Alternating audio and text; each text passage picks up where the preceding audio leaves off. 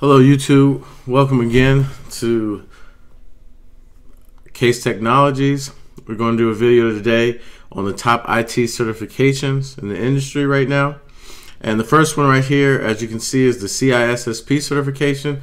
This is the ISC Squared organization's uh, top certification. This is their most popular one.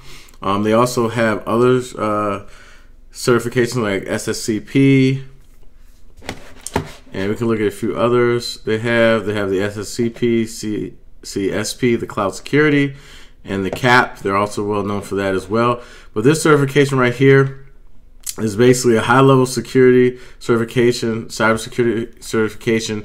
Um, is really geared towards more of a management uh, tier of folks, and we'll come to some other certifications in this video as well that talk about some that are more on the technical side if you're interested in penetration testing or anything like that. But CISSP is a certification that I have, and it'll definitely take it to your next level. As you can see, the positions or the the types of um, people who earn this uh, certification or who benefit from her are chief information security officer, someone higher management security manager, an auditor, an architect, uh, someone who's a consultant that might be independent, a network architect, um, director or manager. So a lot of high level positions really benefit from the CISSP. However, this does not mean that you shouldn't get it if you're um, just an information security officer or if you're just a security analyst. It'll benefit you greatly as well. Um, and that pretty much sums it up for the, the basic overview on the CISSP. Let's go on to our next certification, which is a Cisco one. And that is the CCIE. The CCIE is a certified, a Cisco certified internet network uh, engineer. And this is the highest Cisco certification there is. Um, and not engineer, I misspoke, expert. This is the highest uh, certification that Cisco provides. These are highly sought after individuals. It takes people years and years to even accomplish this level of networking. It's, it's nothing to scoff at or um, to be ignored. Um, I've seen people who've been able to start their own businesses off this, uh, work from home, uh, gain all types of part time and um, independent consulting work, um, a flexible life experience and work experience, life balance. Uh, this is one of the industry's top, top premier certifications, and they have different tracks. They have the enterprise infrastructure, enterprise wireless, as you can see there. They have data center, focused on data center things. Um, security section, they also uh, have a security uh, specialization. They also have the service provider specialization, specialization, and then collaboration. And just an FYI to keep some things in mind, next year Cisco is thinking about changing certification. So this is really what I feel is a, a, top certification as of right now. Who knows how things may change once they change the certification track and how they're giving out certifications. All right, the next one is the Certified Ethical Hacker, the CEH. This is another certification that had been very, very popular and is provided and given by EC Council. You can come to the site, it's eccouncil.org. And they have different certifications as well. A lot of these um, different organizations provide different levels of certification. They also have the CND Certified Network Defender, but right now the one on the list is the Certified Ethical Hacker. This is a big one. It's pretty pricey. Um, it's kind of in, in my opinion, I don't get as many calls asking about it as I used to. It used to be highly regarded, very popular, but with its prices and its its um, uh, requirements to just even have it or, or, or take it are, are kind of expensive. You have to go through this uh, initial review board to even get it. Um, as you can see here, it has a, a number of questions, 125. The test duration is four hours. However, that still is not as long as the CISSP, which can take up to six hours. It's multiple choice, like most are. and that's pretty much CEH. It's, it, it talks about practical hacking uh, processes, procedures, how to uh, gain access to different systems, and, and how to prevent people from um, to uh, compromise any of your systems and your organization as well. Pretty good cert. Still a, a quality cert. And then you have CompTIA's Advanced Security Professional certification. This is uh, CompTIA's highest security certification exam that they offer. Um, it's it's for your your hackers, penetration testers. This is a highly uh, practical certification exam. It's not like the CISSP where it just talks about theory.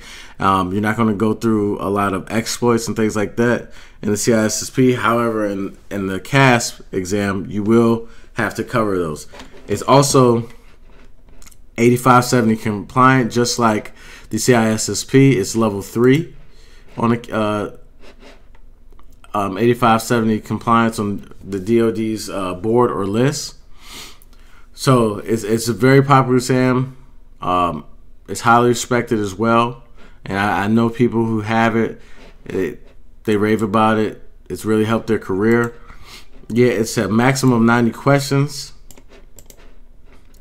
It's multiple choice, 165 minutes. So really, um, not quite three hours, uh, but basically two hours 45 minutes. So it's not as long as the CEH, and and definitely not as long as the CISSP. And it's much cheaper than both of those. I think the CEH is 600. I know when I took the CISSP years ago, it was $600, and this exam is uh, 439. CompTIA is pretty fair on a lot of their um, exam pricings. And that's a good one if you want to be in um, security. The next one is a CCNP routing and switching. As you see this big banner here over the years, this a, has been a big one. But this path is going to change come October, I mean February 24th, 2020. Cisco will re- release their new certification exams, and this one may stay relevant and stay on this level, but who knows? It may change. Cisco's going into more of a a API based development. You have to have some developmental skills. They want people to be able to configure large amounts of routers and switches in an enterprise environment by knowing some Python or knowing some Ansible or knowing um, some REST API API calls with various programming languages. So this was a big one, and it still is as of right now. But in a couple years, that could change as well. And then we have the Microsoft MCSE. Um, this has been a good certification for years in in the IT industry. The IT industry is just not made up of just developers and software engineers, but these certifications do give people a core set of skills, a way to learn, a structured way to learn, and a way to advance within the industry. And the MCSE is not sure of that. And level, there's a step one skills, they have step two, the exam, then you have certification to continue education. This is um, their recommended path and what Microsoft expects. Now, here's the, the details of it. Before you get the MCSE, you will be a uh, MCSA, which is Microsoft Certified System Administrator and then they have their paths and cores on the base level. Then you have to pass one of these exams, either the uh, securing Windows Server, uh, implementing a software-defined data center, designing and implementing server infrastructure or advanced server infrastructure, and then you have their configuring and operating a hybrid cloud with Microsoft Azure Stack, and that's Microsoft's new um, cloud platform that they they rival rival AWS with.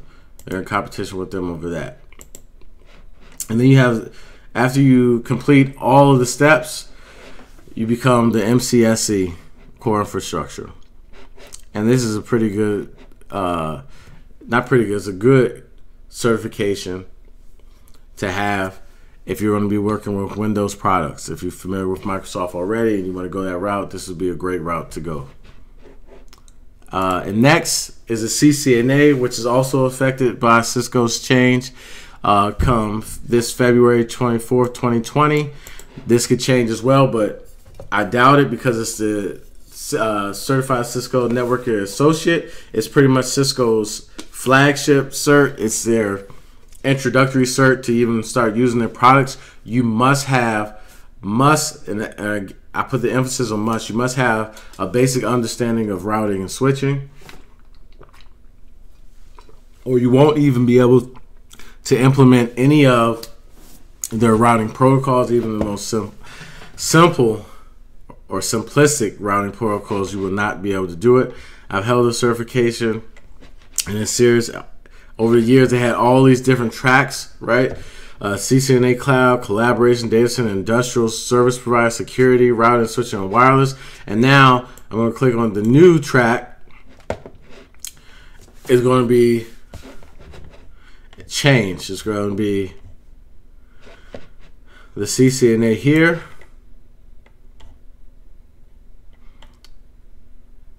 And it's going to re- it's going to replace all these other ones. It's just going to be the CCNA and at the CCNP level, you're supposed to be able to uh, have a concentration. Let me get the detailed information on this because this is a big cert. I want to emphasize and bring up the importance of, of knowing this one. This one is very good. It's been very good to me and a lot of other people that I do know. So, here we go. Yeah, if you are already working on it, you can complete it before by the 24th, and you'll be fine for the next three years, and you'll be good to go there. So you're here to talk about mastering the essentials, including security, automation, and programmability for rewarding work in broad range. Yes, that the CCNA, anybody in the industry will tell you it's a respectable cert. You don't have to worry about it. You get it, you're fine. But they're adding in that automation piece and programmability. So keep that in mind if you want to change the CCNA, do it soon, or you'll be in for some new changes. And I've seen Cisco make major changes on their exams, which makes it pretty difficult to pass on the next go around. And here's the CompTIA Security Plus. This is another one from CompTIA, like the Advanced Security Professional, but it's a lower lower one. This is one that I tell my students to, to come to our who come to our courses. Let's start with this one so we can get your career started and get you into the industry. And it, it covers all types of um, security uh, items. Uh, and uh, it gives you information on technical information on networking protocols. Um, uh, what else? Uh, hardware, uh, physical security. It just gives you a light, a light or not so deep surface level on a lot of different security domains, and that's the best way to, to, to sum it up. You know, you cover uh, several security domains on the CompTIA Security Plus, and it gives you a nice footing or start to get into the IT industry. We're talking about threats, attacks, and vulnerabilities, identity and access management, so like access control list. It covers technologies and tools that you you may want to use, like um, antivirus software. Then risk management, how to go into an enterprise and recommend to your, your management okay should we accept risks? Should we uh, not accept these risks? Um, architecture and design should we have more firewalls less firewalls? Where should they be placed? And then you're talking about cryptography and pkis like cert- certificate authorities um, how are we going to verify and validate that this is our certificate authority? Where should we be getting our keys from? And here are the jobs that use uh, CompTIA Security Plus the system administrator, network administrator, security administrator, junior IT and auditor, penetration tester. You have a security specialist, security consultant, security engineer. And this exam is $339. It's a 90 minute exam, a pass score of 750 out of 100 to 900.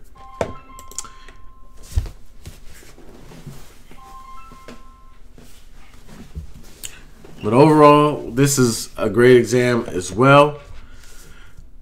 Then for uh, my Linux enthusiasts, if you want to make a serious impact in the IT field, you want to get your Red Hat certification um, as far as it relates to Linux. If you want to make a big impact as it relates to Linux, you want to get your Red Hat certification. You start out as an RCSA, which is a uh, Red Hat Certified System Administrator. Then you have the Red Hat Certified Engineer, which is the higher level certification. And that and and both of them are great for learning the ins and outs of the uh, Linux platform or Linux OS. All right. And here is their page for it. The version 7 and 8. Now let's see if we can find so existing ones. They have several different tracks for any candidate working towards it with the 7 and a new track that places more emphasis on Red Hat Enterprise Linux 8. And then that pretty much sums up for Linux and for Red Hat. Like I said, if you want to make a big impact, that's the way to go. A lot of employers are looking for people who are Red Hat certified and who really know the Linux operating systems. They're using them for all types of uh, web pages are being hosted on uh, Linux operating systems. Um, what else? Uh, any app or anything like that. Most backends are on Linux. Most things run on Linux these days, because it's open source and it's free. And then our next, our, our last but not least, of the core of the top IT certifications is the AWS Certified Solutions Architects Associate. Now, this right here if you want the most bang for your buck, you want to be AWS certified. As a former employee of one of the FANG companies, and if you're not familiar with that, that's Facebook, Amazon, uh, Netflix, and Google. I work for one of those companies, and when I work for one of them, I know what it's like to work for you know work really hard and, and see cutting innovation um, day by day I'm telling you now, the AWS certification is the biggest bang for your buck. The exam doesn't cost that much, um, but you're really going to have to read up a lot. They have a lot of different uh, different uh, software that they have, like uh, Identity Access Management, S3, EC2, RDS. They have all types of uh, softwares and technologies that you would have to learn to even get the certification. So it's quite a bit that you have to master. But this by far is one of the best on this list, especially when it comes from bang for your buck. However, you would still need to have some type of uh, basic understanding of either a Windows server platform or Linux platform because you have to run your software or your company software on some type of OS. All right, let's go on to our honorable mentions or our bonus items. And the first one is the PMP. So it, you can still get into IT without having to have a very technical background or technical career position. You can still have a career in, in the IT, but you might have to go the management route. And right now, I'm going to say the best certification for you to go to management route right now is a uh, project management professional. Uh, and it's provided by the Project Management Institute. You have to get certified in this to teach you how to run a project, how to manage it, and you go over the PMBOK principles. I've never taken this exam, so I'm not sure how difficult it is, how long you should prepare and study, or anything like that. But the exam has 200 multiple choice questions, and you have four hours to complete it. To maintain your PMP, you must earn 60 professional development units every three years. So that's not too bad. So it's about 20 a year. Prerequisites, they might want you to have a secondary degree, 7,500 hours of leading and directing projects, 35 hours of project management education, or a CAPM certification. Um, and then the alternative is a four-year degree with 4,500 hours leading and directing projects and 35 hours of project management education or a CAPM um, certification again. Again, this uh, the price for members is 405 non-members is $550 and again this is a great honorable mention and i wanted to provide something for people who felt that they aren't very technical or they might not want to go on the crazy side of technical and IT, but they still want to be a part of of the IT industry and be a part of something that has longevity and that's moving forward. And the last last but not least, uh, in the honorable mentions is a CompTIA Network Plus certification. Now, this will give you basic understanding of networking, subnetting, routers and switches, um, uh, ports and protocols, uh, some network security, and then some troubleshooting and the day-to-day network operations.